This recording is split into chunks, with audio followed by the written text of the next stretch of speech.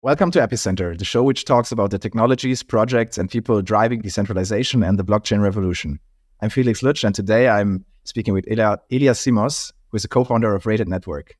Rated is providing node operator metrics and, and ratings for the Ethereum network. Hi, Elias, and welcome to Epicenter. Thank you, Felix. Thanks for having me. Huge fan of the show since since I joined the uh, the industry. So very very glad to be with you today.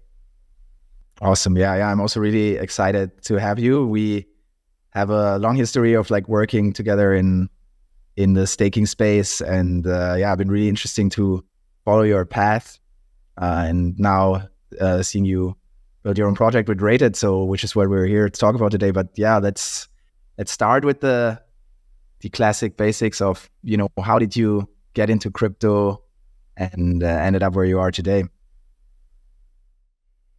Cool. Um, so first touch with uh, with crypto started in 2013.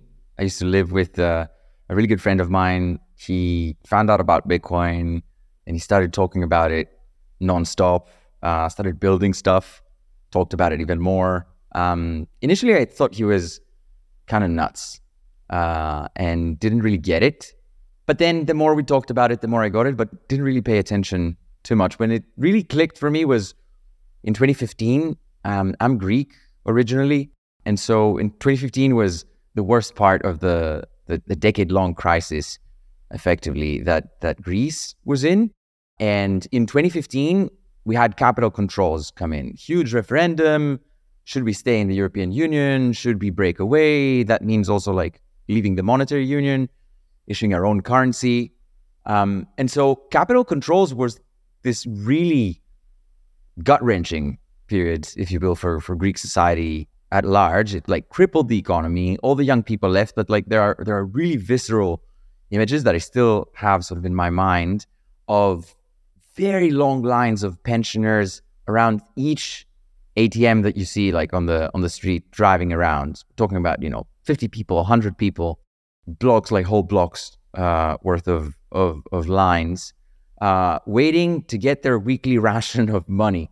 Uh, and and so at that point, like I had the sort of the light bulb moment regarding Bitcoin. I was like, okay, I get it now. Non-state money.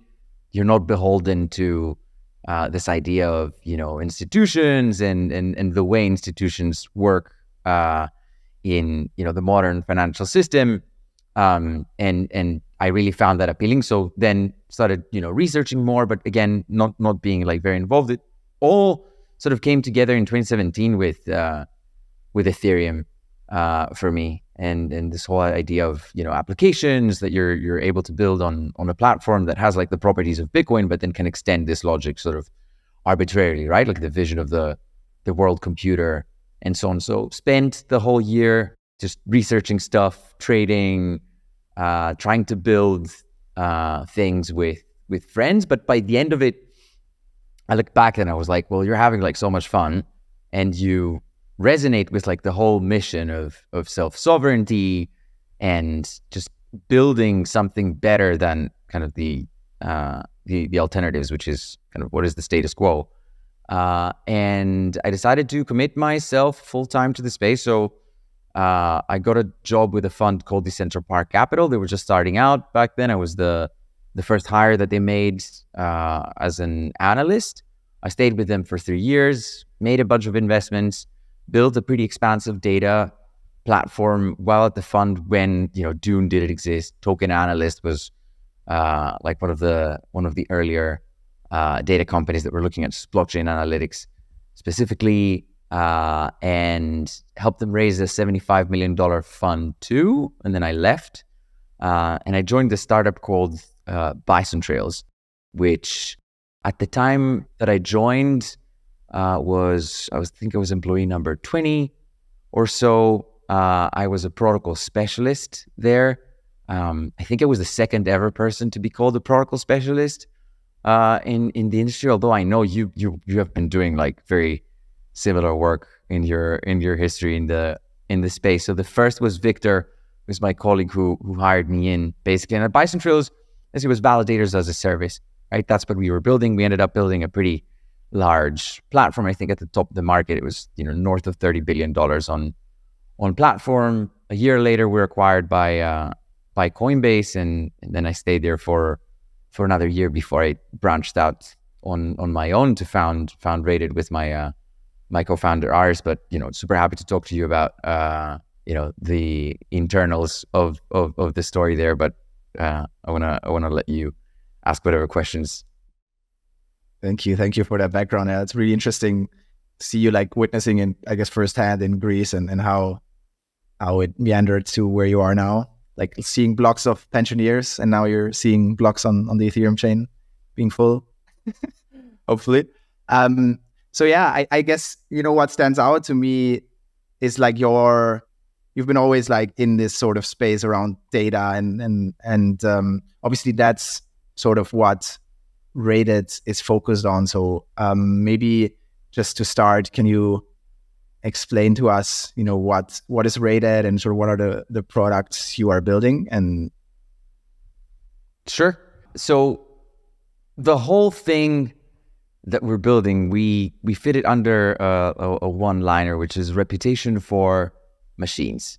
Uh, and this is like a really charged term. You can fit like a lot of a lot of scope in it, but really like the the mission of of what we're doing is just providing transparency into the infrastructure layer of blockchains, right? And we've we've started with Ethereum. Now, where this is coming from, like the why are we doing this ties actually in pretty well with you know 2015 and those lines of of pensioners and so on.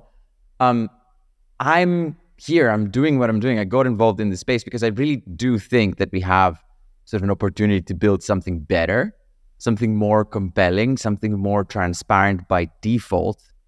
But also transparency is not handed to you, right? It's like sure the the source material is open. Anybody could theoretically just go and access the data, but without the interpretation layer, you're really not improving much, right? And and and the beauty of of blockchains is that actually they allow you to go and get the data, but obviously, you know, interpretation doesn't come out of the of the box. So on a long enough time frame, I think we're working on systems and we're building systems that are by default a lot better than uh, what the financial system, for example, is is is running on. And I also do think that it is a matter of time until things migrate to the systems that we're working on.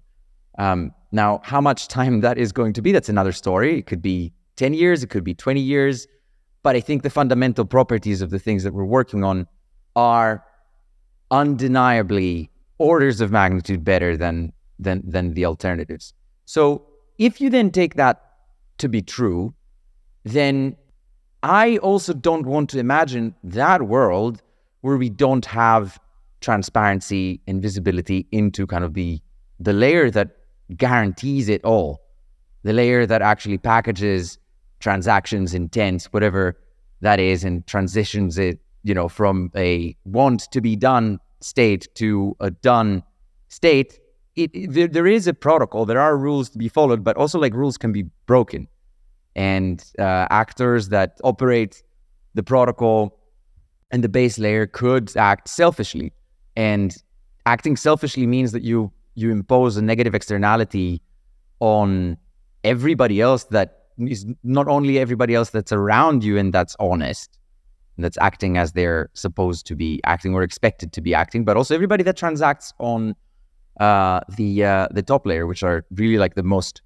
important uh, part of the uh, the whole the whole equation. So that's what we're largely here to do. That's the that's the mission. This is why reputation for machines, right? And how you get to reputation is by indexing and contextualizing and building and, and dispelling the subjectivity of what is necessarily good and what is bad, but also what is, right? Just merely providing the context of what is happening, what has happened, how what is happening fits in the context in of, of, of what has happened, and is this behavior like expected or or not, or what even constitutes a behavior. Uh, that's that's all the work that we're doing with data. So it's at the moment we're operating on on Ethereum. We we started with Ethereum because it is, I think, the most consequential uh, piece of infrastructure on blockchains out there by users, by developers, by uh, assets that are powering the uh, the infrastructure and so on. Um, and we currently host a network explorer where uh, the index is not the block; it's actually uh, the operator.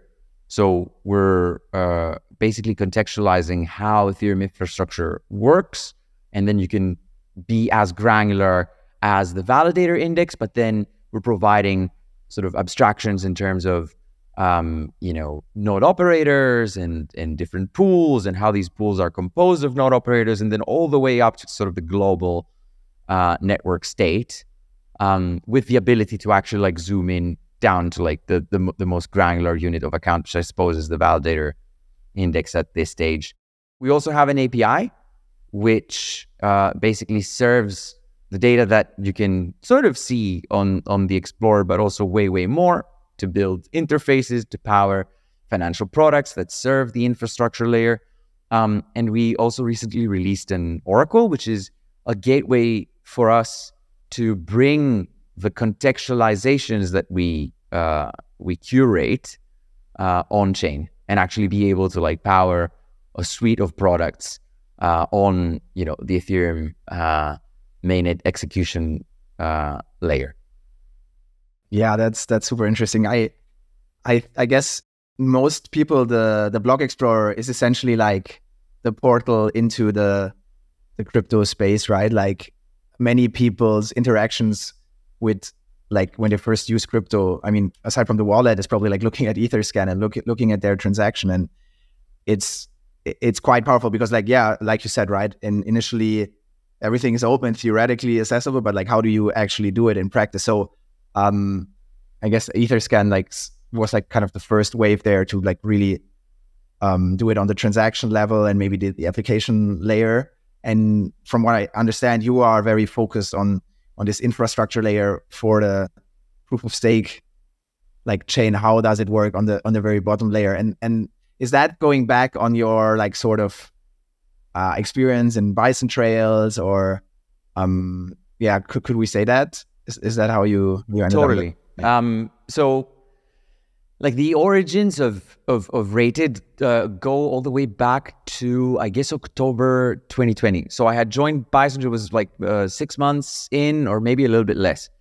Um, and then the beacon chain was launching at the end of the year and the ethereum foundation uh, put together a hackathon and the brief was do anything with all the data that the Medalla uh, testnet produced and that's the last um, testnet before the beacon chain, infamous for like a, a prism bug uh, with like an update that they they pushed that had a, a Cloudflare clock uh, to run side by side with like the validator's own like sense of of time, and then it just like wiped out. I think one third of the of the network's validators uh, at that point. Great that it happened in a testnet, uh, and I guess that's that's what testnets are for. So um, uh, my myself and, and and my friend Sid Shekhar, he was back then I think the uh, CTO of of Token Analyst, and they had they had just been acquired by Coinbase, um, if I remember correctly.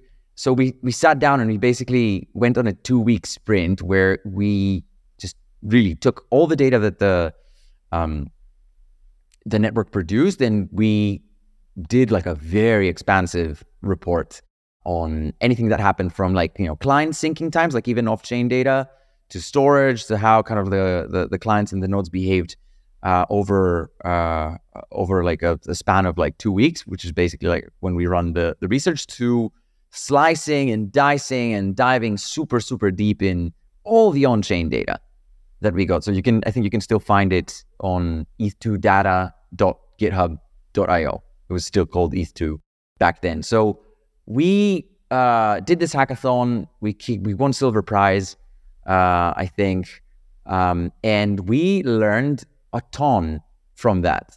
Uh, we we learned that there's like so much wealth of of data about the network, and there is so little definition of actually how you can make this data useful. We learned things like, you know, performance, externalities, risk, but like primarily performance. And you know, the risk and externalities thing was a was sort of a realization that came a little bit later. But it's very subjective, right? Like people were measuring no common language on what performance actually means. Right? Is it uptime, rewards? Is it something else? Um, no, no clear answers. And then, kind of over time, as I kind of went about my uh, my my work at, at Bison Trails, and you know, we were operating on north of 30 uh, networks. Uh, I think 40, 45, 50, maybe more.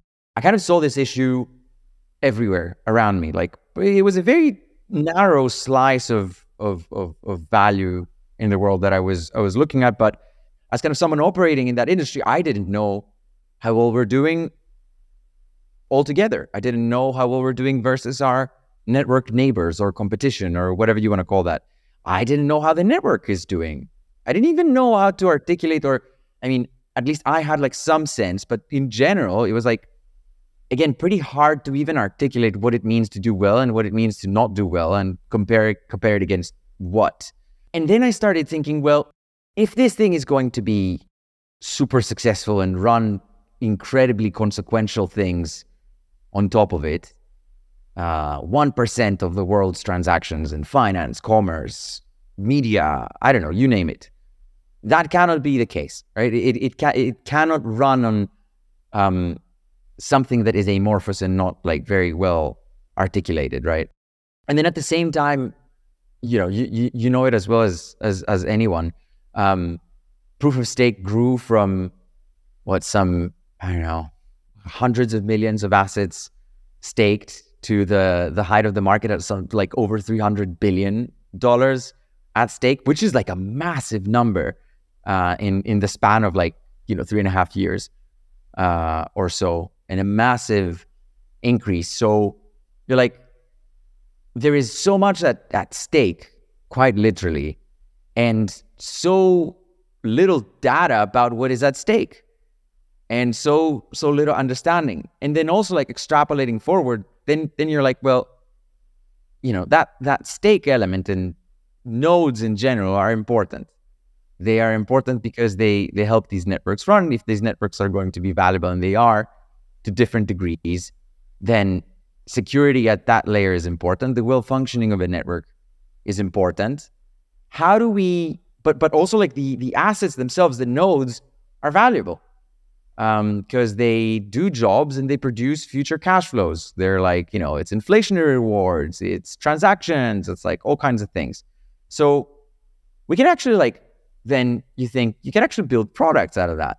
And in order to like help the industry move forward, you need credit for those things. You need insurance for those things. You need like, you know, potentially even derivatives, right? Like you can do like lots of cool things to hopefully not gamble, but like provide levers for people to like operate businesses in that in that space and actually contribute to running infrastructure for really, really, really important uh, uh, constructions, right? So, um, and then and then I started thinking, well, you need like a third party, independent guardian of all that data to actually help power all of these products that you foresee in the future, because you know, a credit underwriter's, for example, job is not to wrangle blockchain data.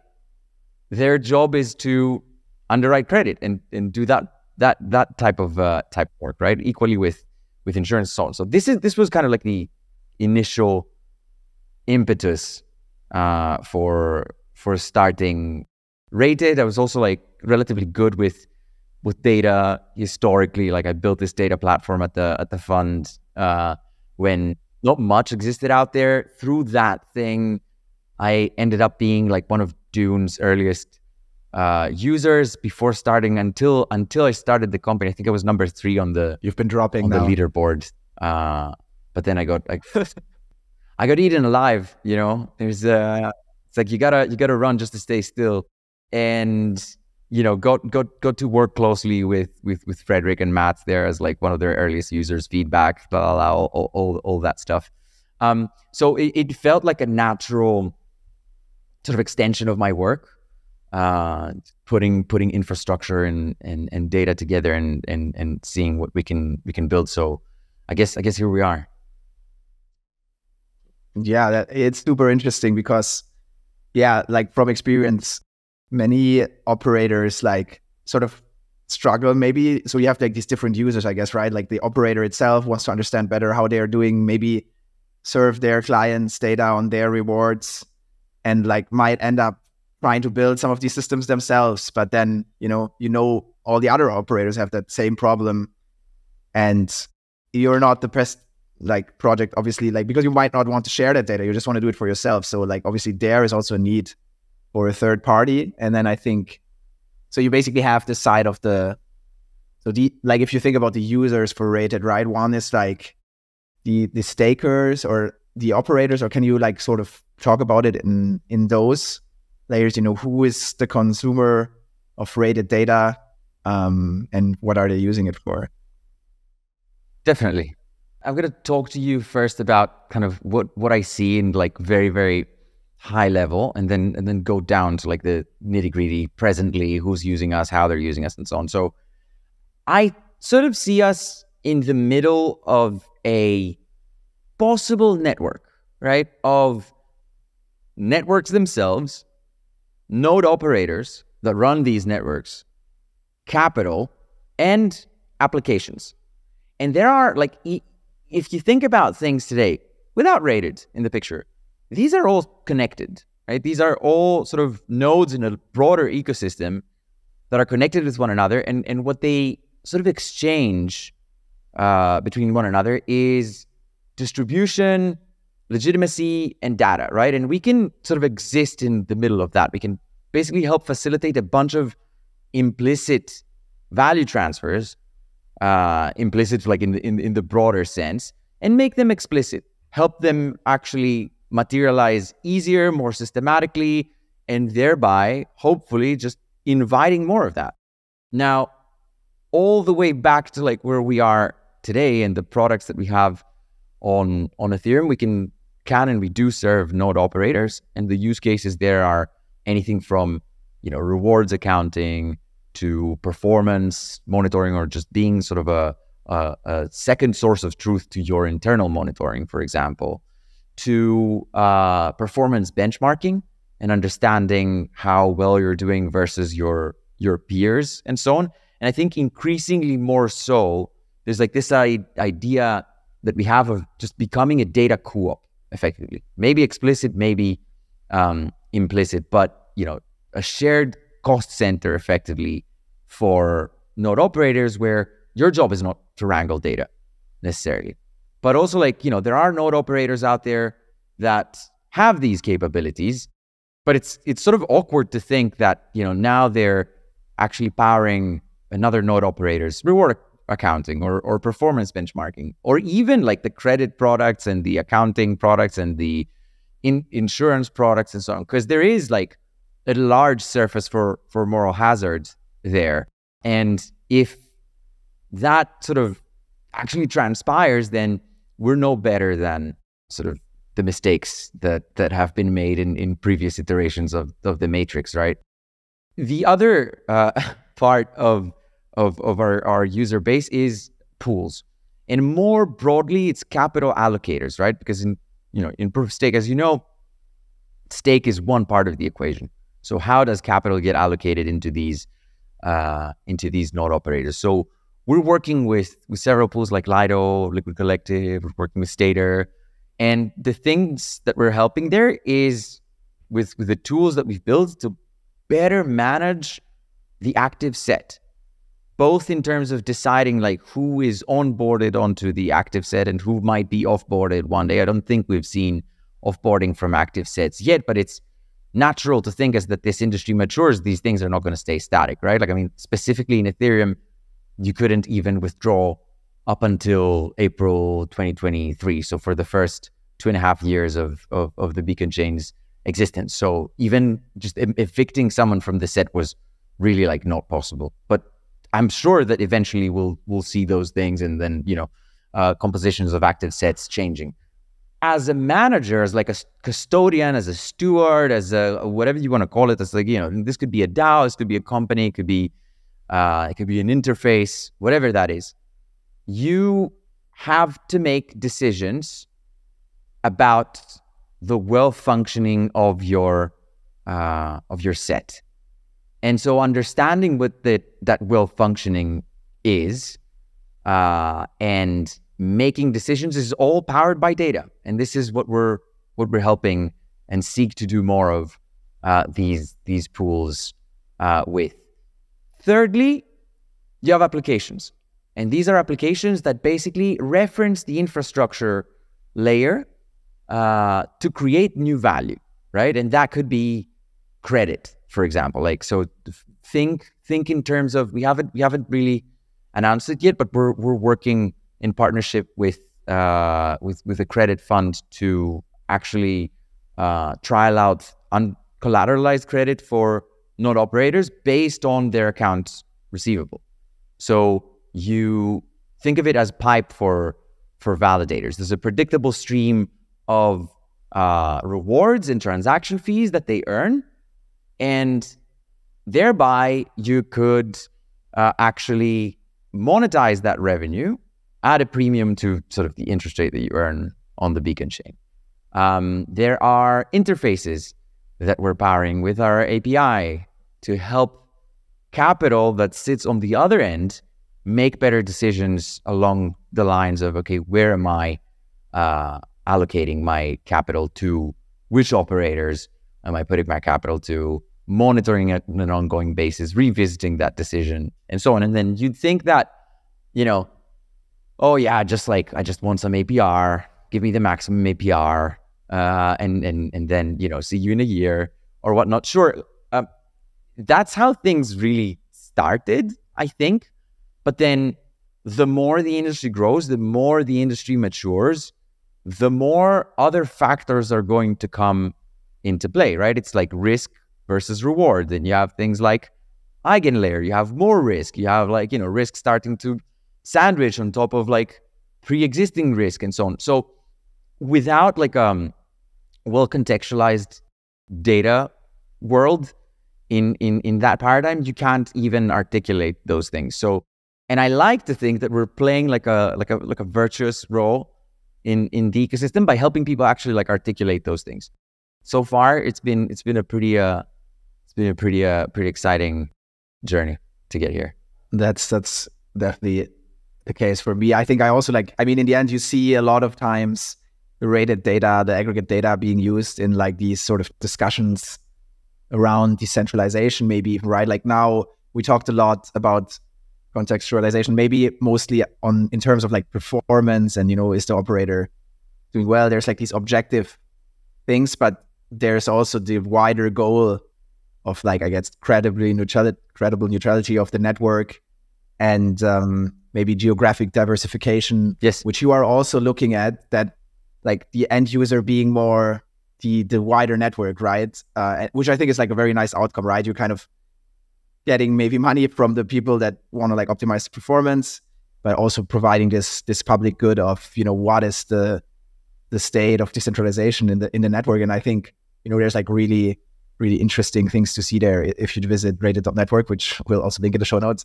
you'll you'll be able to see that for Ethereum, you know, like all these uh, things that that is try to keep Ethereum neutral or like decentralized, like you can like actually check is it actually happening. So maybe um, thinking about that, maybe can you like yeah talk a little bit about how you think about it and how you how you see the current state of Ethereum in terms of like its goal of uh, becoming credibly neutral. Is is it actually happening like from from the data you're seeing or where are maybe like things that need to like be worked on since i guess you were like probably one of the people that has like the, the deepest insight there i think that would be nice to focus on that dimension.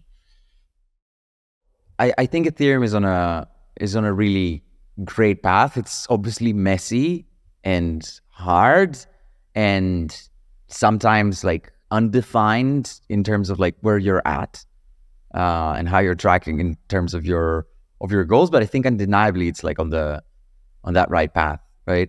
Um, and I, I'd like to also think that we're helping just push that conversation forward, right? Like I, I, I still remember um, when we were starting out, when we first launched, so we, I think we first launched the website in February 2022. Then March, April, around that like two months period, it was like a big conversation about client diversity. So I think Prism at the time uh, had 80% dominance or, or, or something of that, of that nature. And we had just launched. The, the first feature that we, we, we delivered on, on the front end which is based off of um, uh, Michael Sproul's work on on Blockprint, which is basically an open source tool that fingerprints the proposal patterns of, of validators and, and works backwards to uh, identify which client they're wearing effectively. And so we actually pushed that out on the, on the front end, and then we started getting shared all over Twitter. It's like client diversity, client diversity, and now here's like a way to actually measure client diversity. Since then, client diversity has massively improved. We're now, I'm just looking at the slash uh, overview uh, screen on, on the Explorer, and we've, we've gone from like 80% uh, Prism to like 40% Prism. Lighthouse is at like 35%. Teku was at 17%. And then the smaller clients, Nimbus and Lodestar, are actually like improving. We, I'm not claiming we were responsible for it, but I like to think that you know we had we helped. And and that's all we can we can really hope hope to do right? Just give people the tools to make make the right decisions whatever the right decision is for for their objective function. Also like in terms of another stated goal of ethereum i guess is resilience right and and just surviving like a catastrophic event in terms of censorship in terms of war in terms of like nuclear holocaust and and and so on and since the beginning, Ethereum had like a very strong focus uh, in solo staking, right? Staking from from home, which is kind of antithetical to like the whole proof of stake thing from when you look at things from bottom up, right? Because proof of stake is part capital or like one half capital. Capital is dominated by power laws, so like just crushing those those power laws is very very difficult. Um, but you know, if you if you transport yourself back in time and you think, you know, when the beacon chain was launching or even before it was launching and what the conversation was shaped around is like, you know, validators are going to run from fridges and everybody's going to run a validator at home and so on. And it turns out it's like, it's actually not that easy, right? Uh, 32 ETH is a lot of money these days for, for the average Joe or Jane it's the interfaces. I mean, with things like DAppNode and so on, like tremendous progress in making the whole solo staking thing more accessible, but it still is pretty daunting. Like, what happens if my validator, am I going to get slashed? Am I not going to get slashed? Like, education around this whole thing. It's not like I buy a pack of candy, no pun intended, from, you know, the kiosk or or whatnot. It's actually like it takes like a, a pretty long learning curve, and you either have to be very committed to some higher order goal uh, to to be part of it, um, or you're just incredibly interested in sort of the nuts and bolts of it for whatever idiosyncratic uh, reason. Again, like these two things don't make for like a hugely available market sandwich on top, like the capital requirement and everything. It actually like is a the pretty small segment. But we have found that be that as it may, Ethereum does have about 6.5% of all the validators that are active on the Beacon chain being solo stakers, which is a, a, tremendous outcome, right? That's like in the billions of, of dollars running on on on people's homes, uh, and so on. And and more interestingly, even like if you if you now change the denominator from amount of stake that is running to beacon nodes, which are sort of think of it as the box that is running those validators, and you can run like many validators on a one box.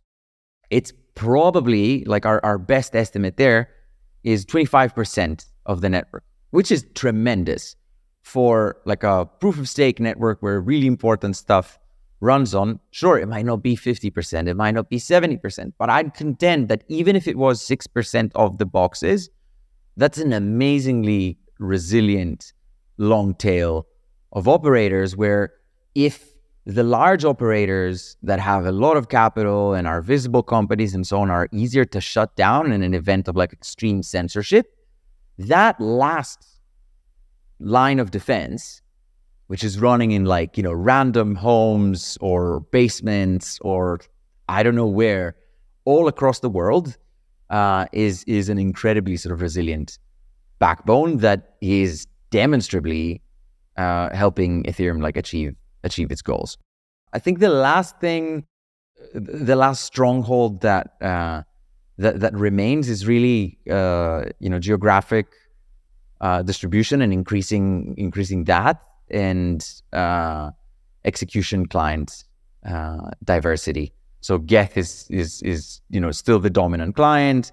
Something goes wrong with Geth, then the network will will experience uh, you know sour times. Like I think it was just this week or maybe uh, late last week when Geth had a an issue with block production, and then together with how Prism actually decides where to build the blocks when when the validators are are, are boosted, uh, they actually kind of we, we saw the network experience its lowest effectiveness since uh, Shapella, which is uh, a, a, not really a frequent phenomenon. Like Ethereum is running really well uh, for for all intents and purposes. And again, like it was, you know, a two sigma event that didn't like no one bat an eyelid on the execution layer. If you were transacting on Ethereum, you wouldn't know that this thing was happening. Um, so you know, there, there's still like work to do from like a network perspective. Uh, you know, we're we're seeing that the network is actually like pretty heavily concentrated, you know, in North America and in Europe, particularly when it's relating to what we've sort of contextualized as professional operators and looking only at that slice of of the network. But then you know you have things coming up like DVT. Uh, so you know Obol, uh, SSV, uh, DeFi is working on a a, a DVT uh, solution of of their own. I think there are a few more.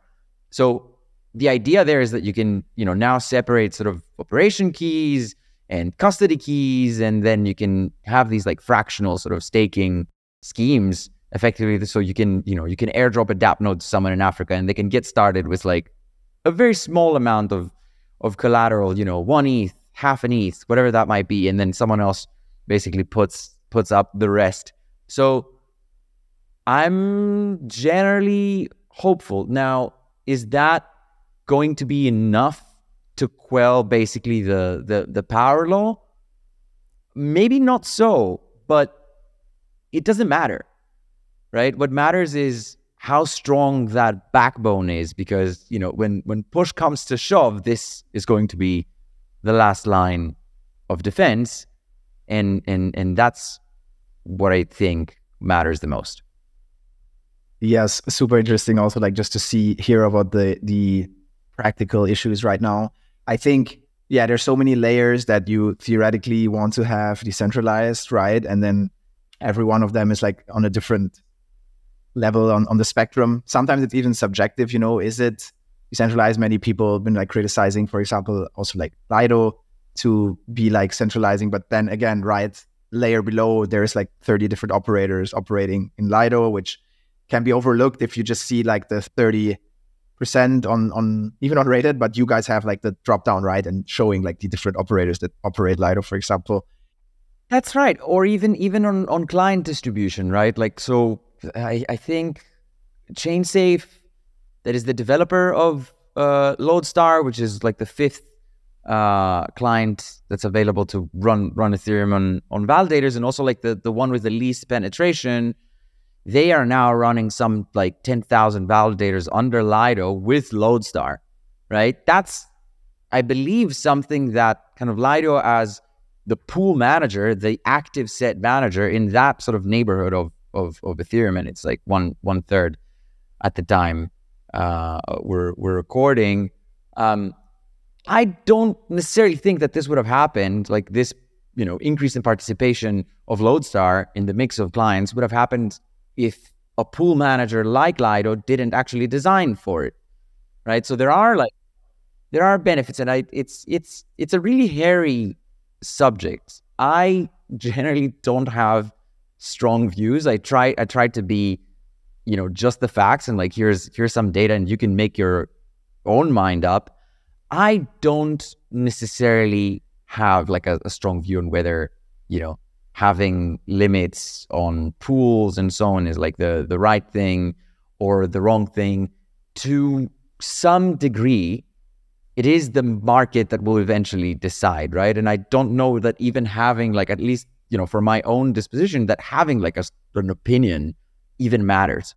I see I see positives, I see negatives, I see opportunities, and I see I see risks, and I try and I try to quantify them uh, as as as best as I can, and then also like you know offer it uh, to people to to help them sort of make make the best decision possible for for for the network.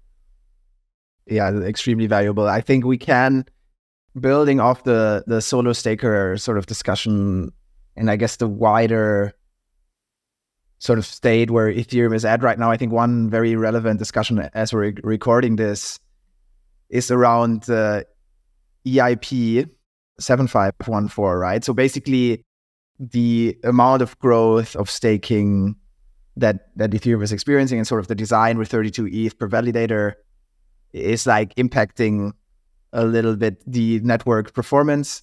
Uh, as from what I understand, so I think it would be helpful maybe if you could explain a little bit the background of or what this change is about and and why it's happening and then maybe we can discuss a bit you know what the implications are uh, after that but maybe we just give like a bigger overview of what of what this is about. I think it's been like in the news now and i think it is quite relevant um, you know for many network participants including like the operators of course and uh, stakers themselves right?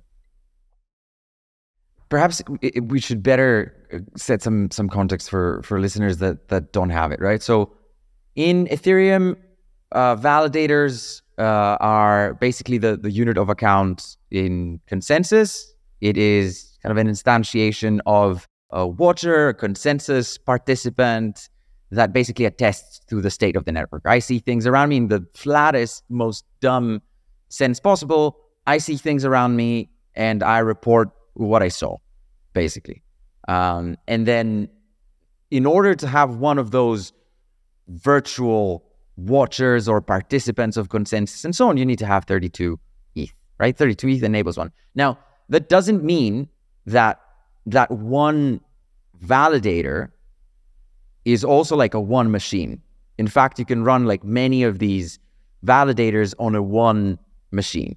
Now, I, I think the design originally was was as such to like you know help solo staking happen, make it a little bit more difficult for concentration to happen. You know, as we've seen in delegated proof of stake, these constraints don't necessarily exist, and so it's it, it's much easier for power laws to actually uh, instantiate, right? So design decisions made uh, at at a time in the past for reasons and arguably the right reasons, right? Or at least the right reasons for for Ethereum. Now, the, the downside to that is that when you have a lot of interest in, in staking, you have people wanting to participate, you have increasingly more validators uh, joining the network, these, these digital instances of consensus uh, participants, which means that you have a lot more data that the network needs to handle. There's, you know, data that's being exchanged in the P2P layer of the network, which is, you know, all those validators talking to one another and saying, I saw this, I saw this, I saw this, I saw this. Everybody saw something. And then there's like another consensus actor that's not like really explicit um, on chain that takes all of like, what did everybody see? Okay, let's put it together. Like what, what is what is reality? And reality tends to be what most people saw. But now you have like so much more of these messages being exchanged. Really, like it, it, it looks like the the people that were on the you know uh, the withdrawals are are, are bullish uh, and sort of an enabler rather than a oh my god like all the stake is going to flee the beacon chain uh, people were were on the right side of history. So we've we've basically seen like a 50% increase in active stake in the last six months uh, or maybe less. It's april now it's we're recording at the end of, of, of september. So i think at when withdrawals came, uh, that that upgrade uh, came to the fore. It was 500,000 active validators. Now we're at 800,000, right? And we're talking about 300,000 extra validators, which is more than 50% of, of what were active back then, that joined uh, the network in the last six months. It took the network two and a half years to get to 500. So if you're like, I mean, that's a concerning kind of trend, right? Like it could concerning from like a network load perspective because then you see kind of like a straight line, but then you see that line accelerate and the curvature change. That sort of fits in an exponential curve. That's concerning because then there might be like an undue load for the network to process, which means that the network is going to underperform because it's not set up to actually handle this type of load of messages. Then a bunch of like useless, effectively, or let's not call it useless, but the marginal value that this extra message, I saw this, brings is tiny the more of, you know, the more of these messages you actually have. Uh, so, in order to basically prevent the network from uh, experiencing hard times uh, in terms of infrastructure and networking and state bloat and, and, and all of these things, a decision was made to actually cap the validator uh, activation uh, uh, limit to eight validators per epoch, which I think was the number that uh, the network was at before withdrawals activated. It was seven or eight. I don't remember which one was.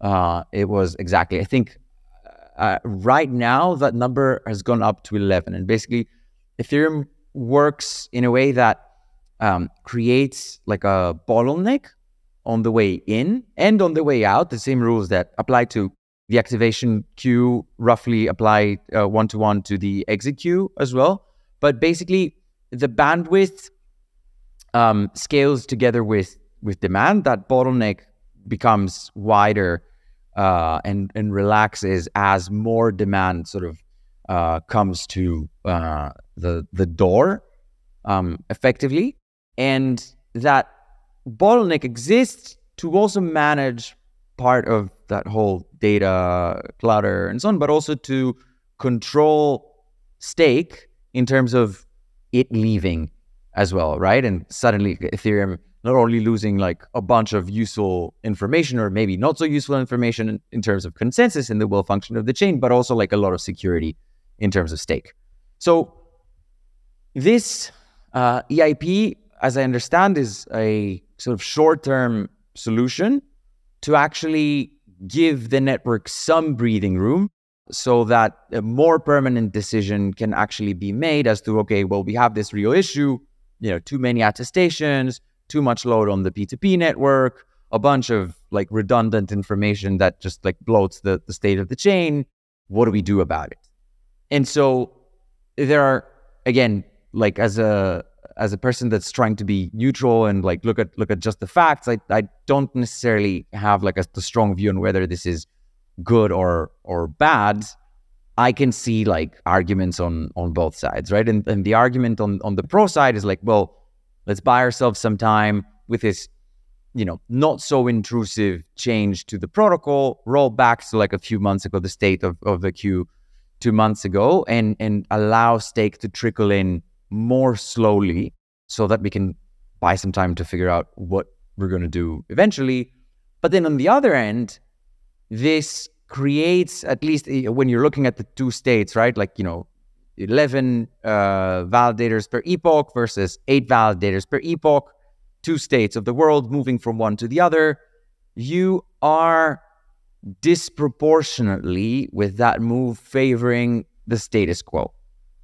Such that if, for example, there was a strong need or willingness of existing stake to be reallocated or new stake that onboards to go to places that are not dominant uh, in terms of their representation of stake in in in the beacon chain. Now they have like less of the window for them to actually kind of catch up, uh, if you will, is narrower, which effectively buys time for whoever's in the lead. I don't know if there is like uh, value in in in really kind of uh, diving a lot deeper into that or really ruminating on it on it that much because it's it's all very subjective. It's all in the eye of the the, the beholder, but the the problem is is is still like existent, right? Like from a network perspective, from like a well functioning network health perspective, like that's a problem that we're going to have to solve eventually, right? And there's it rhymes well with like another proposal, which is like, okay, let's aggregate um, the stake. Why do we need to have uh, 32 ETH per validator when we can just collapse that and do it, I don't know, 20 times, 50 times, 100 times more and just allow validators and validator operators that option. Not make it mandatory, keep the minimum at 32, but then you can add those 32 increments and instead of running various instances, having many of these digital agents of consensus that send all these messages, suddenly instead of 100 messages, you could just have one. But that also comes with like a whole world of of trade-offs and like largely like like all of these things are ends up being like a, a, a political thing among among other things, right? Which is, you know, people have made design decisions, people have built technology and infrastructure to actually manage the state of the network as it is today, which might or might not be a competitive advantage.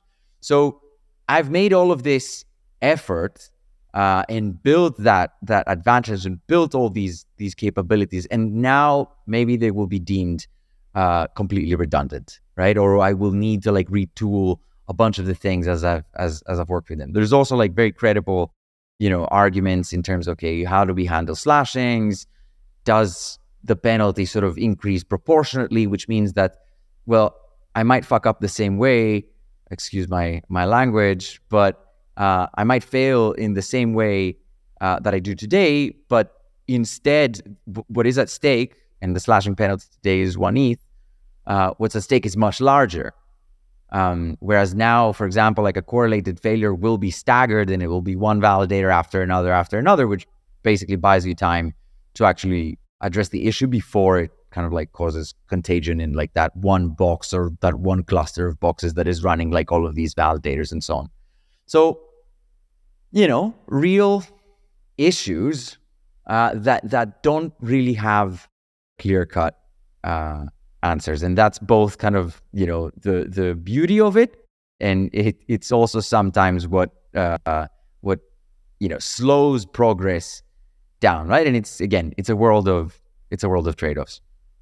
Yeah, definitely. Like, thanks so much for elaborating like this on it. I, I do think it's very interesting how, you know, these dynamics that you mentioned are like sort of like one on one hand, like favoring in a way the power laws by like sort of limiting how many new can enter.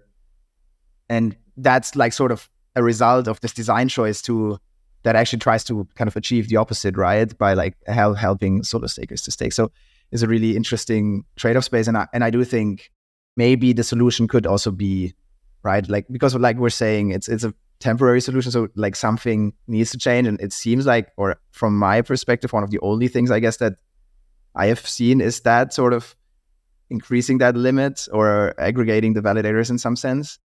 So I do think what's also interesting is that maybe you can do that, but then also you have like solutions like DVT that maybe like can still maintain like the ability for solo stakers to sort of participate even if they don't have because already 32 ETH, like you said, is already maybe too much for many these days. And actually, so if it's even higher, I guess maybe DVT can be the layer that like sort of solves that, and it, it wouldn't like blow the Ethereum state so much. But um, yeah, very interesting field and yeah i guess also yeah. cool to have like all these teams like working on different parts of it and you you sort of you know making it all transparent and like contextualizing it i, I think that's like a, a, very cool spot that you're in we're trying our our hardest. But just to harp on what you where you left off for for for a little while longer like the the flip side of having all of those teams work together in in like loosely or less loosely connected ways and no sort of central planner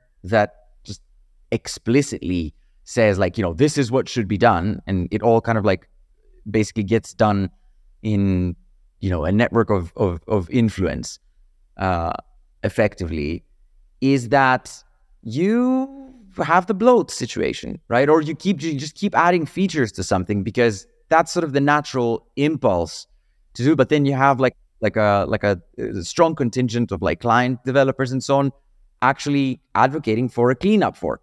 Let's not do like all the sort of improvement stuff and add this and then you know dvt comes into the picture and then other components come into the picture and then complexity just like piles up because again that's the natural impulse of like humans to build features uh, and not not to like actually reduce features reducing features is is, is painful uh, it means that you have to like roll back your decision that you made earlier it means that you have to like accept the mistake admit defeat and also it's it's it's generally more more painful to do that, but very necessary. So it's just so fascinating, right? Just seeing seeing humans just work together in like implicit ways at this level of of, of scale. Yeah, it's just really fascinating. Yeah, and I guess like one spicy topic we had there before we started recording, I guess it's also like, yeah, how are these decisions then made in the end? You know, like Ethereum is known to be like sort of a advocate against, or like I guess the Ethereum community at large, and maybe who, even is that, right? But like I guess also Vitalik and some of the core early people, uh, sort of against this sort of notion of on-chain governance, like making the tokens decide. But then we can definitely see in this case, for example, that these choices are made by some of the core developers, or in some way, right? The decisions are made, but they're potentially not like taking into account the people that this change is impacting, right? In in a way that maybe other systems would. And I think that's that's also very interesting now to see how, how these things play out. As you know, many have critiqued the on-chain governance, but actually, like here, I, I feel like it's a very good um, example of why maybe this other path isn't like working as well either, right? So you, yeah, I, I guess if you want to comment on that, like what how how are you thinking about this of governance? There are no good options. We're, we're we live in a world of like bad options uh, when when it comes to this, right? Like it's look at governance like outside of of chains or whatnot. It's not like things are rosy there or that like we've solved that problem as like a the human civilization. So we, we just have to live with like bad options. And it's also like there's precedent of on-chain governance actually like not being a solution. Like there was a a, a Tezos upgrade. I think was their sixth or seventh upgrade, maybe like already two years back. There was like a big debate about an escape hatch feature, and then the upgrade wouldn't like actually go through. It's a very political process. With Ethereum, as as as as you mentioned earlier, there is no like explicit on-chain governance, and I don't even know that like explicit on-chain governance is is the answer. So governance happens in a uh, in a rough way, right? The Ethereum community calls that rough consensus uh, where you know ecosystem participants call it the client teams, the Ethereum Foundation, the operators, and so on. They're all in like you know three or four different forums, not including sort of all the all the private chats and and and IRL places and so on. But it's you know I guess it's ETH research, it's like a couple other forums, it's like a, a couple discords and so on. They discuss those issues uh, at, at large, right? Like upgrade issues, what are we doing, how are we moving forward, and so on. What ultimately happens is that if the operators don't decide to upgrade the software, even if like all the client developers, for example, agree and like the protocol researchers and protocol developers agree to like push the change forward, if the operators don't upgrade their nodes to the new version, then the network doesn't upgrade, right? What is like a little bit under talked about, perhaps, and also maybe a little bit spicy is that these operators have a lot of stake on the line, right? Like they have their actual stake, they have uh, businesses that they've built on top of that they're they're effectively like not not custodians, but they're agents of the stake of others, right? So there is like really like a lot on the line for them, and so ultimately, if they're if they if they did have like even as a solo staker, if you did have like a deeply rooted belief about like a specific feature which you know even saying it that way sounds like a little bit ridiculous but you know so be it it's like if, if this if this infrastructure is as important as we all think it is and as important as as it will be like being sort of religiously militant about features um, actually makes some sense. Um, so the point is that even if you were like vehemently against, your your your stake is uh, at risk if you're in the uh, you know if you're in the less representative side. So you know what happens like if you follow right right right right you know the other chain Ethereum Classic or whatnot proof of stake Classic like you know what happens to like your your your your value at risk.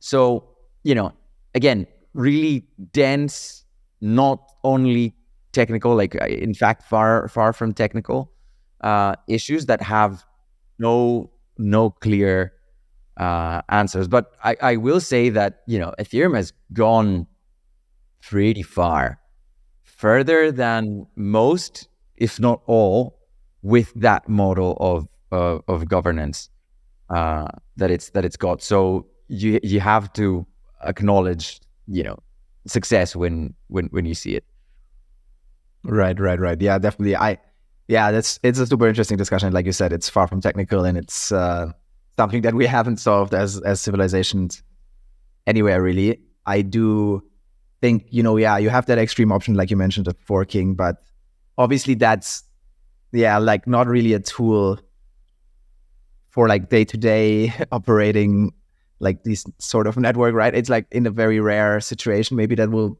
you will like sort of play that card.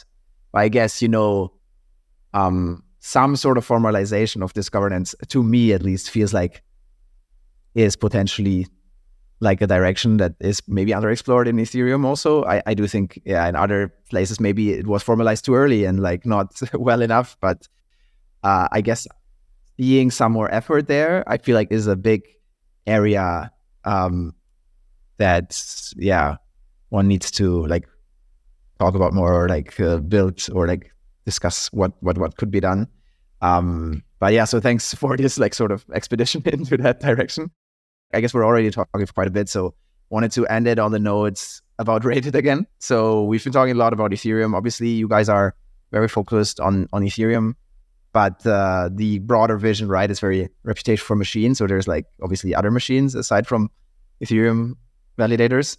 Um, what's your, yeah, sort of what's the future for Rated? How are you thinking about what you're building and how you're expanding maybe from Ethereum, or are you even doing that? Layer twos, who knows? Um, feel free to just, yeah, talk to us a little bit about that, and, and then we can wrap up. Awesome.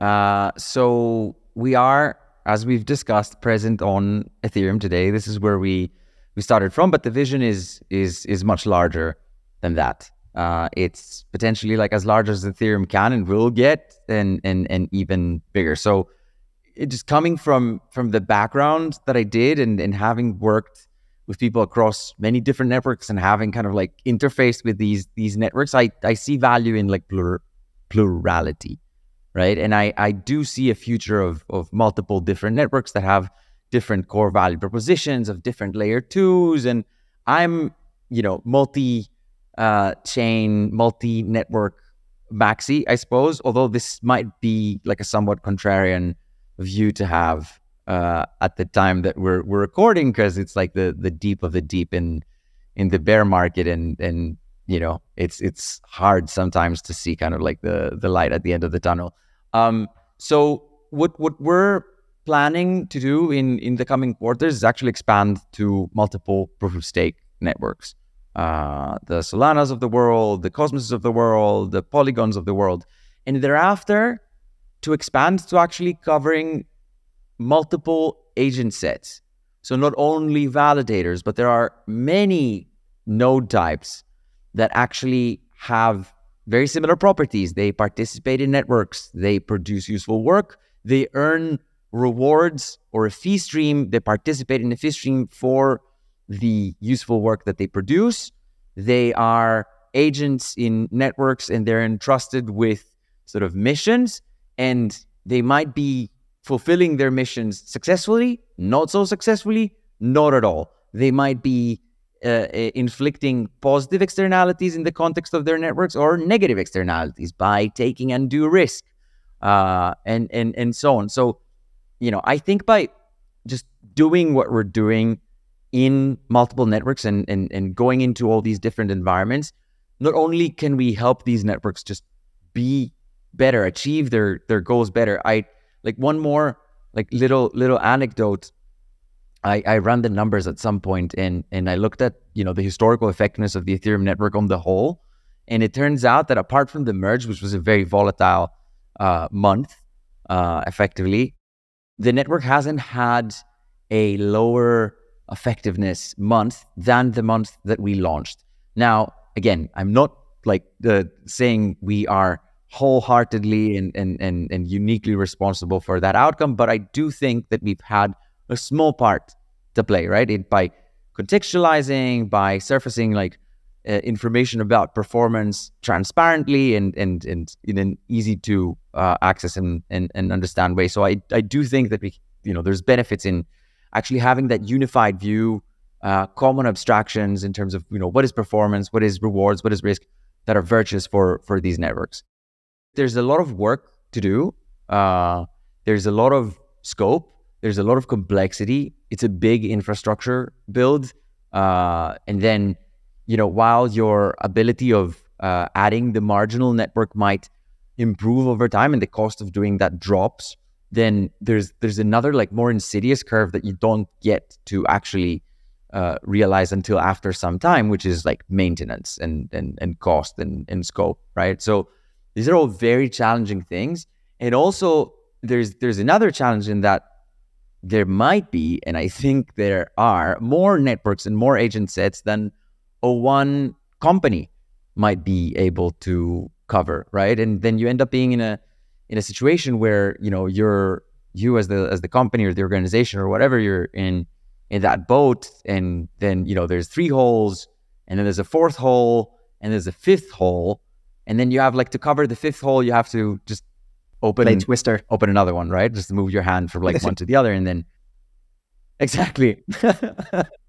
It's the it's it's the whack-a-mole analogy that we we we talked about before before the recording. So um that's going to be a challenge. Figuring out how to solve for that is going to be a challenge, but it's a challenge I'm super super excited um, to be to be taking on because because you know we see the positive impact of of of the work that we're doing, and and that is sort of the, the biggest reward uh, of of of all, uh, if you will. So just being able to have like a like a small contribution to things moving forward, to things improving, to arming people with the right of an arming might be like the the wrong word, but but giving people the ability to access information and empower them to make good decisions for whatever their objective function is is something I can, you know, get behind and continue doing for a very long time. So I'm excited. I'm excited to uh,